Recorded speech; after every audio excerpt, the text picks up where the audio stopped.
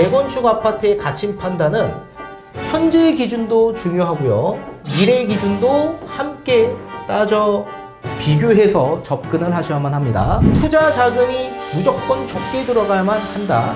매매에 초점을 두고 있는 게 아니라 반드시 투자 자금에 초점을 두고 접근을 하셔야만 합니다. 전세가율이 높으면 높을수록 내 투자 자금은 적게 들어가기 때문에 훨씬 더 유리할 수밖에 없다. 부동산 고민 문자로 자세하게 보내주시면 추첨을 통해서 여러분들에게 월수금 정확한 해답으로 찾아뵙도록 하겠습니다.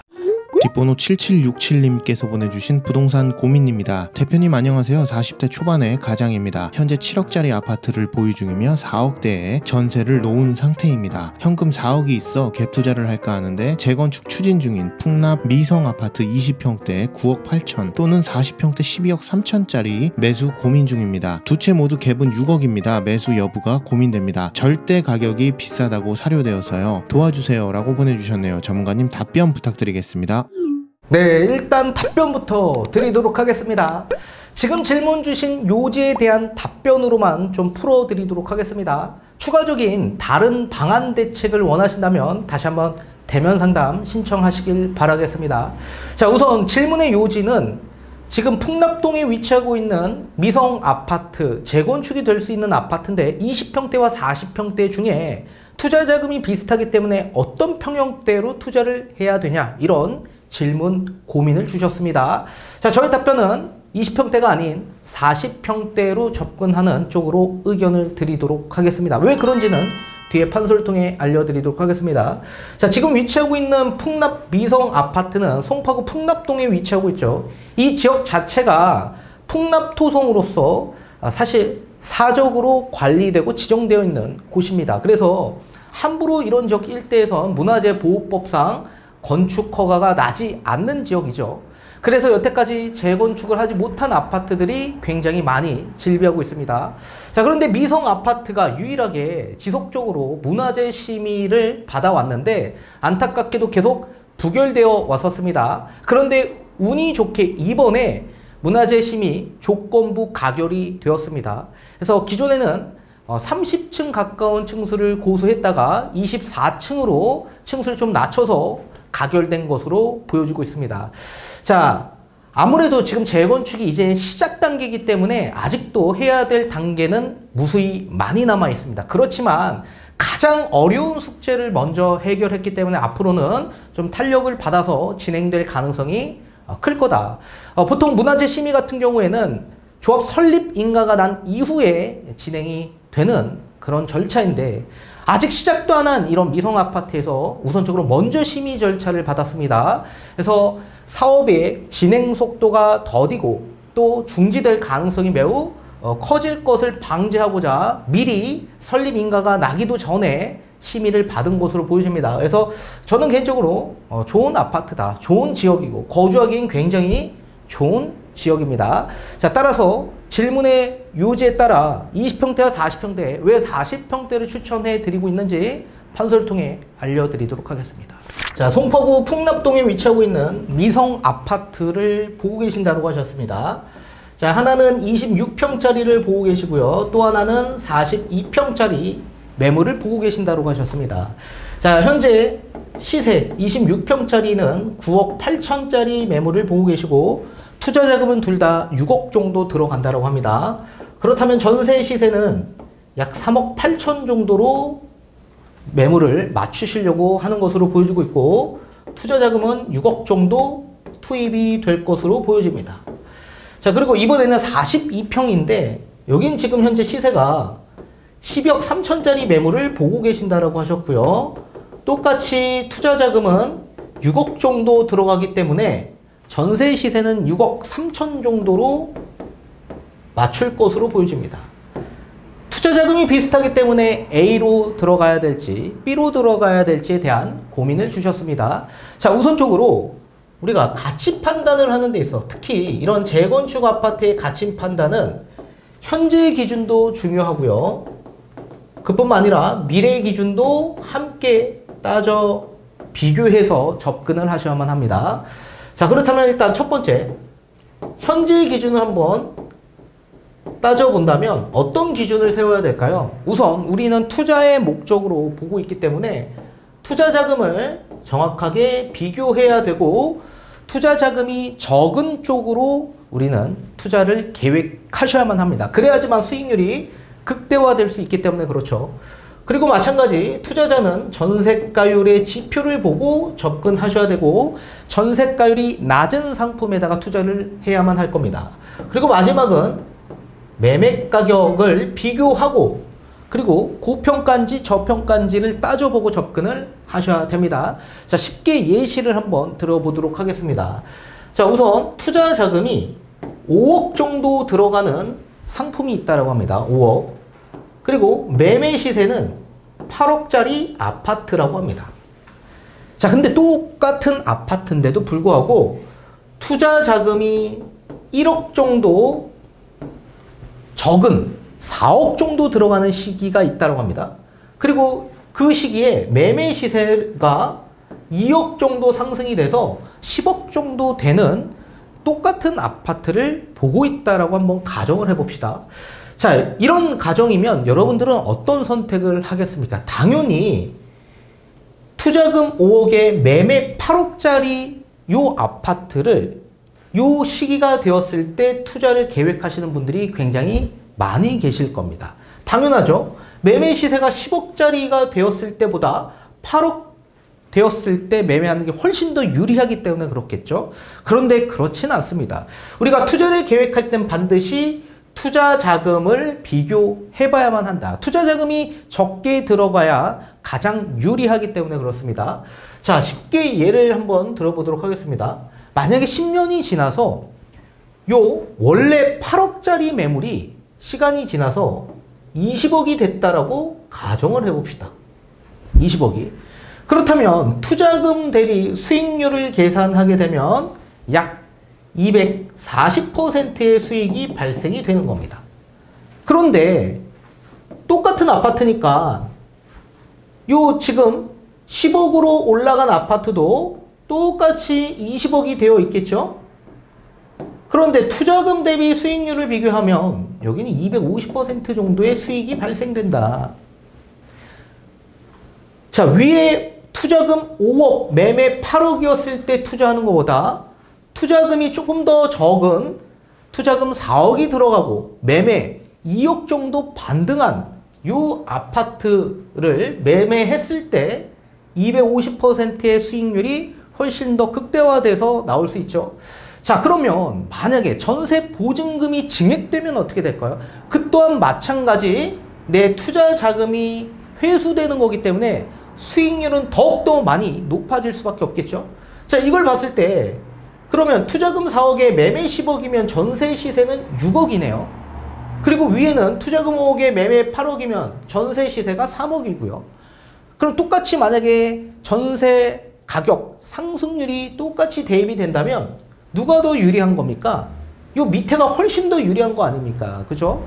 상승률, 전세 가격 상승률이 훨씬 더 높아질 수밖에 없기 때문에 전세 가액이 크면 클수록 내 투자 금액이 회수되는 어, 그 금액이 더 커지기 때문에 수익률은 극대화될 수 있다. 따라서 투자 자금이 무조건 적게 들어가야만 한다. 매매에 초점을 두고 있는 게 아니라 반드시 투자 자금에 초점을 두고 접근을 하셔야만 합니다. 그리고 두 번째, 전세 가율을 보게 되면 자, 전세 가율 지금 위에는 전세 시세가 3억이죠. 3억에 매매 8억이라고 한다면 전세가율이 약 한 38% 정도 수준이 되는 겁니다. 그런 반면에 여기는 전세가 6억에 매매 10억이기 때문에 전세가율이 약 60% 정도 되는 시기에 우리가 투자를 계획한 거죠.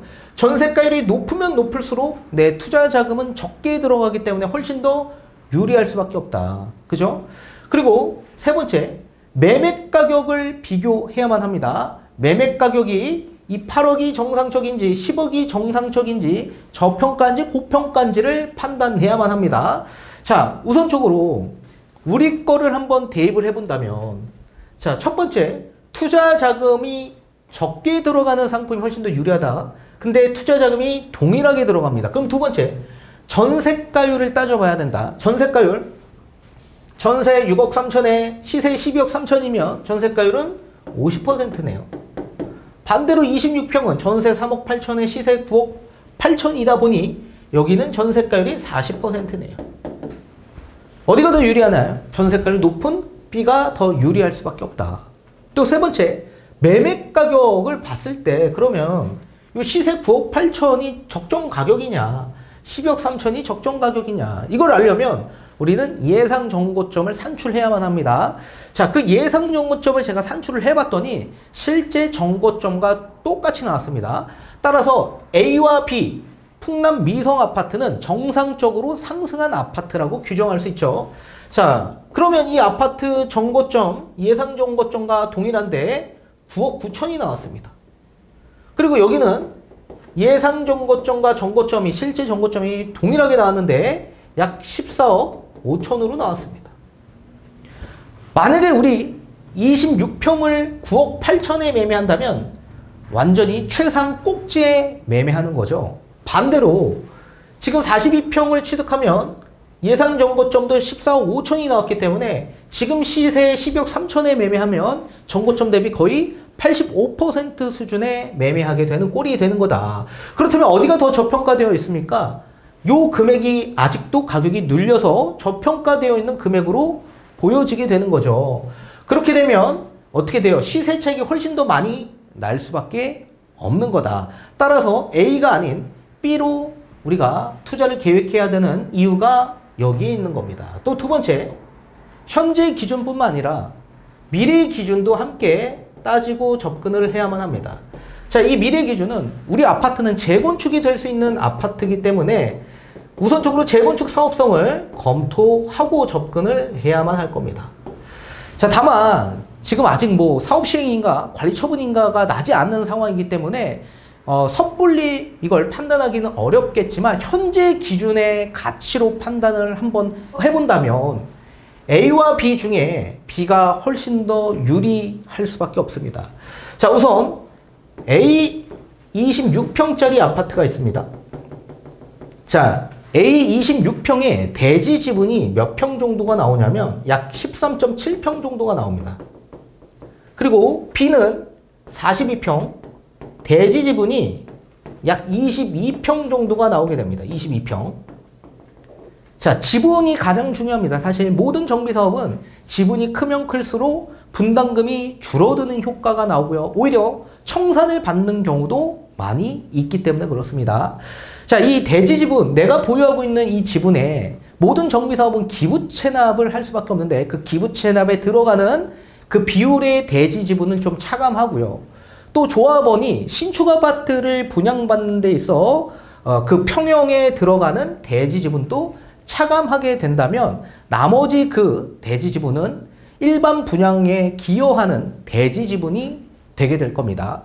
그리고 한 평당 대지 지분에 일반 분양 수익분을 적용을 해서 일반 분양에 기여하는 금액을 산출하게 됩니다. 여기에 어, 이 조합원들 건축 원가에서 일반 분양에 들어가는 기여 금액을 차감하게 된다면 분담금이라는 게 이제 발생이 되는데 일반 분양에 기여하는 금액이 크면 클수록 분담금은 줄어들거나 또는 오히려 청산금을 받는 경우가 생기게 된다. 그래서 여러 가지의 이런 분담금을 산출하는 방식으로 제가 현재 기준에 삼아서 이제 산출을 해봤더니 A26평 아파트 기준은 59 타입만 신청이 가능할 것으로 보여집니다. 59 타입. 뭐 분양 신청하는 데 있어 뭐 1순위를 다른 평형으로 신청할 수는 있겠지만 어, 대부분 다 59 타입으로 선정이 될 거다. 어, 그리고 분담금이라는 게 이제 발생이 될 텐데 26평 선택하게 되면 지금 기준에서는 분담금이 어, 제가 산출한 결과 약 한 2억대 정도 나올 것으로 보여주고 있습니다. 자, 그 기준은 일반 분양 수익을 우리가 알려면 일반 분양도 알아야 되고 조합원 분양가도 산출을 따로 해야만 하는데 지금 지금 강남 3구는 분양가 상한제가 적용되고 있는 지역이기 때문에 이게 지금 당장 되는 건 아니죠. 그래서 향후 만약에 미성 아파트가 재건축이 된다면 지금과 또 다른 정책이 나올 수 있겠죠. 강남 3구 용산 지역 일대에 분양가 상한제가 또 폐지될 가능성이 있기 때문에 폐지된다라고 가정하고 이제 어, 산출을 한 겁니다.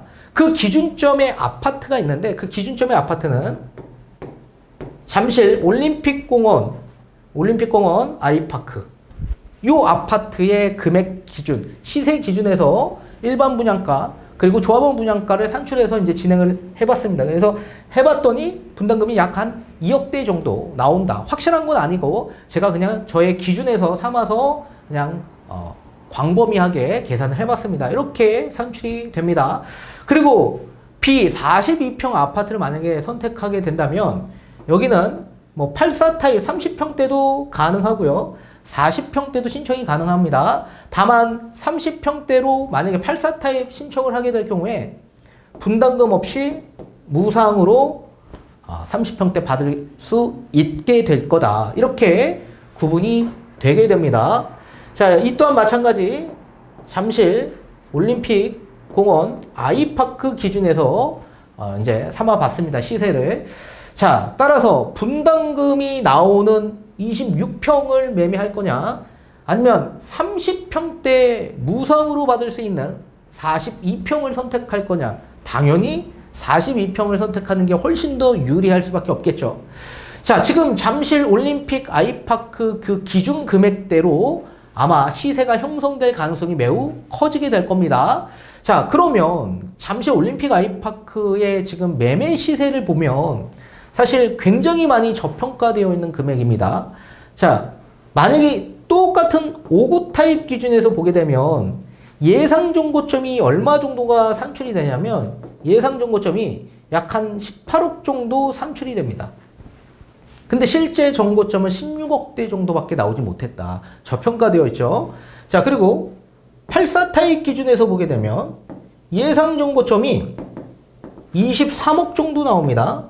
근데 실제 정보점은 약 18억대로 찍혀 있습니다. 완전히 저평가되어 있죠. 따라서 입주한 지 얼마 되지 않은 상황에서 입주장이 끝나지 않았는데 하락기를 맞았기 때문에 이렇게 아직도 가격이 눌려 있고 이 아파트는 투자성보다는 실거주에 좀 더 적합한 아파트로 보여집니다. 그렇기 때문에 가격 상승폭이 지금 당장은 크지 않았다.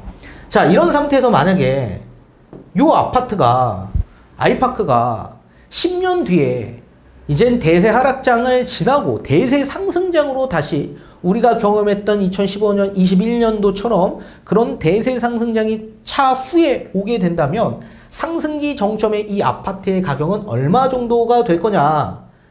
20평대는 40억까지 갈 거다. 30평대는 50억 갈 거다.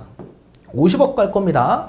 아, 지금으로부터 약 10년 뒤에 이 정도 시세까지 가게 될 겁니다. 이 정도. 이건 제가 누차 여러 번 설명해 드렸습니다. 통화량이 풀린 만큼 매매 가격은 올라가고 또 거기에 따라 상급지 아파트 기준에 따라 이렇게 가게 될 거다라고 말씀해 드렸습니다.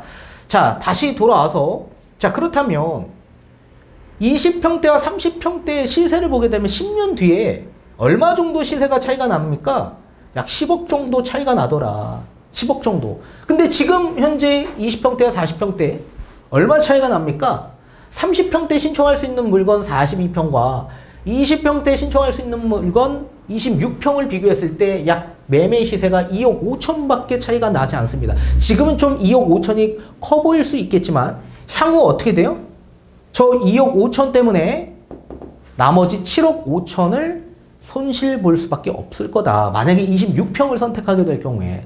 따라서 10억 정도 향후 10년 뒤에 차이가 날 가능성이 있기 때문에 지금의 이 2억 5천은 굉장히 적은 차이가 될 거다. 따라서 현재 기준을 보더라도 현재 기준을 보더라도 투자 자금이 비슷하지만 전세 가율과 그리고 정거점 대비 어, 저평가와 고평가의 기준을 삼아 봤을 땐 B가 더 저평가 금액으로 산출이 된다. 또 미래의 기준의 재건축 사업성을 보더라도 이 A26평은 20평대에 신청할 수밖에 없을 거고 분담금이 나올 거다. 그리고 B는 30평대 신청 가능하고 무상으로 받을 가능성이 매우 클 거다. 따라서 A보다 B가 훨씬 더 유리할 수밖에 없고 시간이 지나서 신축 아파트가 돼서 10년 뒤에 가격이 형성이 된다면 아마 20평대와 30평대 가격 차이는 10억 정도가 나게 될 겁니다. 그렇기 때문에 26평보다 42평을 보시는 게 훨씬 더 유리할 수밖에 없다. 자, 오늘은 이 질문의 요지에 따른 답안을 좀 풀어드리고 설명을 도와드렸습니다. 또 다른 답안과 또 다른 대응을 원하신다면 다시 한번 대면 상담 받으셔서 적절하게 세부적으로 어, 다시 한번 상담받고 진단 받으시길 바라겠습니다.